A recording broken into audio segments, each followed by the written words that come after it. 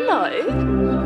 Hello. It's crazy. So water teaspoon. Today is so sunny. I thought that I would come out in the garden. I haven't actually sat out here probably this year.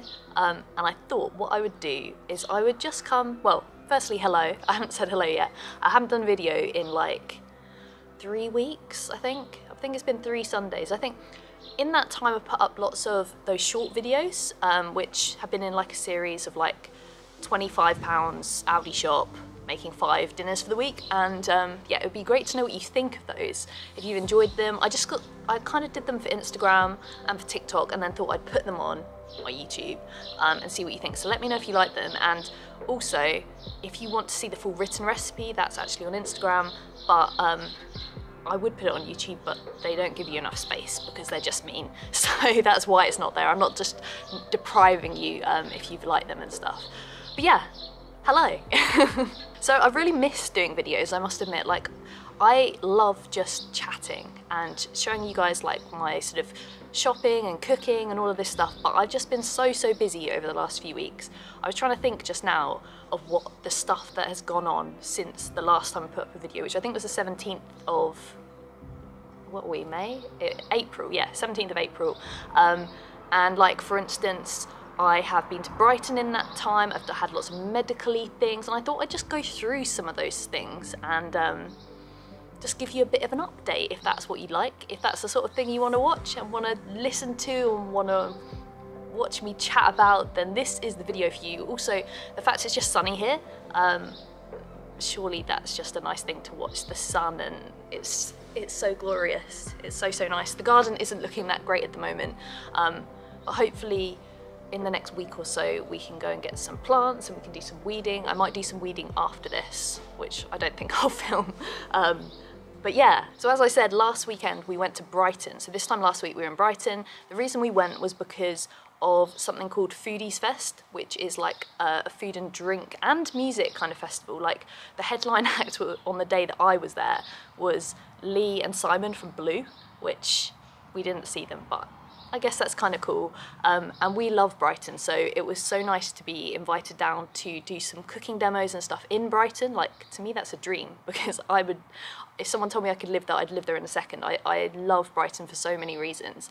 Um, so we went down there last Sunday and I did a cooking demo, or two cooking demos on Monday, which was bank holiday. And I baked some cookies, I baked, I made a pizza, um, I met lots of you guys and it was just a bit overwhelming. There was so much like, there's so many people coming up to me and just saying hello, and I love that. I love it so much. Um, some of you bought my new book, and I signed it, and we had photos. It was it was just a real good laugh, and I've got quite a few more of those coming up in the summer, sort of post me having my operation. So I've got some late June, I've got some stuff in July, I've got some stuff in August and September, and probably beyond. So I'll I don't know if I'll put a link or I'll put a list even below of some of the things that I'm doing over the course of the next few months. Either that or I'll I'll let you know as we go. But there's quite a few. I think the next few there's late June, there's Chelmsford and Maidstone in Kent. So those will be good. And then we've got the Allergy and Free From show at the beginning of July, which should be really cool. And I'm there all three days. Um, that's at the ExCeL. Becky Excell at the ExCeL um, in London. So that should be really, really fun. So yeah, Brighton was awesome. We walked to the beach, we were around Brighton, we saw lots of dogs that looked like Peggy, but Peggy wasn't with us, which was a shame. But she's not great in the car. Um, she's been down with us before, but we thought like, you know, I'm quite busy um, whilst we're there, and we couldn't find an Airbnb that would take dogs, so she stayed with my parents, and we just went down and enjoyed ourselves.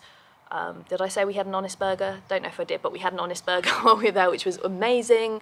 And not only did we do Foodies Fest, but the following day, just by chance, basically, one someone on my Instagram messaged me after I was talking about my BRCA stuff and my operation and said, this could be a good thing for you to do. Uh, why don't you do it? And kind of sent me a link to an account. And this account was someone called Lydia Reeves.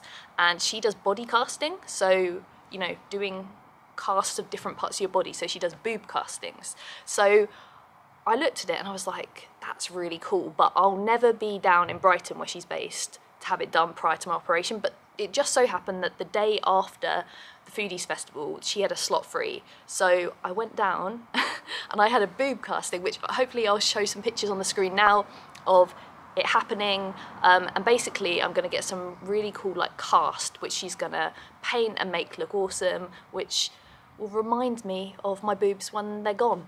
um, and I don't know. To me, it, was it was just the coolest experience. Lydia was amazing. She was so lovely, so kind, um, so passionate about what she does, and honestly, whether or not you're having a massive operation like I am, whether you're like I spoke to her and said, you know, what sort of people have have boob castings done, and she said, you know, there's lots of people in my position, there's lots of people who've had breast cancer, um, but there's also people who just come, like she had a couple who came for their 60th birthday and just had it done for fun. Um, and I just thought that was amazing. And I, I so like it might seem weird if you've never thought about having it done before, but it was it just felt really good to have it done. Like both the process felt good because you get all this silicone stuff stuck to you and then it peels off and that feels good. But actually, like mentally, it felt really cool. Um, and I obviously in a few months' time I'll show you the cast, but. Uh, it takes about 12 weeks, I think. So by the time I get it, I won't have these, but I'll have a cast. So I'm really excited for that. Um, and yeah, I can't wait. I just, it was just such a cool experience. I don't know what colour I'm going to have it yet. Um, I've got some ideas, but I have a bit of time to think about that. But yeah, it was just the coolest thing and just such a nice way to end our trip to Brighton and sort of, uh, I guess, a final farewell to these. Um, as yeah, they're they're going pretty soon now. I think from today, which is Sunday, I think it's like a week and a half. I think it's about 10 days or something till uh-uh, gone. Um, which is actually, I mean, I've said in previous videos that it's scary, but it didn't really feel real. Now it's starting to feel real, and that's that's a lot to take in. I've realised since my last video, I don't think I told you, I might have told you some of the stuff that was going on, but I haven't actually, I, didn't film it. So one of the things I had done, I think a week after my last big video I put up, was I had my final ever breast MRI scan, which I really don't like them. There's a few reasons I don't like them. I don't like the pain, because you have to basically, basically you have to lie flat on your tummy and then your boobs have to hang through these holes and then you're pressed here and here really hard into they're supposed to be soft I think but they're not. And then I get these really big marks. Um, and also they put contrast through your veins um, and then it makes you feel like you've wet yourself which isn't very pleasant. But I'm glad it's done. I'm glad that within two days I got a letter saying it came back all clear. And basically as soon as that was done it was basically basically it was like yeah the operation is happening. Um, because before that if something had come back wrong then obviously my operation wouldn't have happened things would have had to change it would have been really bad. Um, but that gave me basically the go ahead i say basically because tomorrow is the final i think it's like the final sort of thing where something could go wrong or you know there could be a reason for the, the operation not to go ahead because tomorrow is my pre-op. So i don't really know what that involves um, but I got a letter and it said it could take between one and four hours. So, you know, Monday morning I usually am working, but I might be working or it might be there for four hours. I don't know. So I think it's like blood tests, um, maybe ECG, which I've had many of those in um, a previous life of mine, um, and stuff like that. Probably a COVID test. So there's lots of things I've got to have tomorrow morning, and I guess if they all come back clear and I guess they'll explain the procedure of me going into hospital because I haven't been, I've never been properly an inpatient, I don't think. I've been a day patient. When I was basically, when I was about 11, I had four teeth removed, or two teeth, four teeth, I don't know, had some teeth removed and I had that under general anaesthetic, but I've never really had anything else. So this is quite a big thing. And I mean, the operation is pretty major. Um, so yeah, it's, uh, it's a lot, but hopefully it'll be all right. Um, when I talk about it now, it makes me think how how soon it is and how much of a strain I'm going to go through. And it's like, for me, it's not just such a big thing happening, but it, I know it's silly, but it will stop me doing my work, and I'm quite a workaholic, and I like to do stuff, and I, I feel like it's going to be it's going to be difficult. Oh, and uh, I've got little friends. Hello, hello, hello. Pegs come say hello. How are you? You a good girl? Yeah? You want to go and play? Oh, has she? Oh, I'm, it's still it's still recording, but she's a, a nice visitor. Everyone likes Peggy. How are you doing? Everyone wants to know how you're getting on. Oh no! So next door, our next door neighbours have a cat, and um, Peg's obsessed with like looking at it out the window. oh, right. Are you gonna go back inside? Yeah. Yeah. Off you go. Nope. There we go. You can talk to the camera. Nope. Okay. Whatever. what was I talking about? what was I talking about? I don't know. Um, oh, BRCA. So before Peg rudely or very cutely interrupted. Um, yeah, I was just saying how it's a lot to take in. Um, it's a lot that I'm going through. So if you don't know what I'm talking about, you can check back at some of my previous videos because um, basically a very, very short overview. I don't like to go over it too many times, but I have something called BRCA2 gene mutation, which means I have like an 88% chance of getting breast cancer in my life and a whole host of other things later on. But the thing that I'm having to focus on now is these, um, and I'm having a double mastectomy reconstruction in 10 days' time. And that's a lot for someone aged 31 to go through, I guess. And um, yeah, if you've got any questions about it, do let me know because I'm always open to answering questions. I feel like I've personally found there wasn't much on the internet or from people's personal experiences about it, so I want to share my personal experiences and also I'm going to try and do like a video not of the process, like as in the procedure, obviously, because I'll be asleep, but just like my sort of journey through it. I mean, I, I should be filming stuff for it now, but I keep forgetting because there's life going on, but I'm definitely going to try my best to. Um, and one thing that I do need to sort out prior to this happening really is that there are going to be some changes like in terms of what I can wear afterwards because recovery is quite lengthy. Well, not too lengthy, but it it I'll need to be wearing stuff that I can probably put on without putting stuff over my head because I don't think I'll be able to lift my arms. So I need to get some more sort of buttoned up tops. So any advice of good places to get summery nice clothes like that um, or any things that you'd recommend, let me know. Also, um, I we'll need to wear different bras for a while, um, so any advice or tips on places to get them would be good.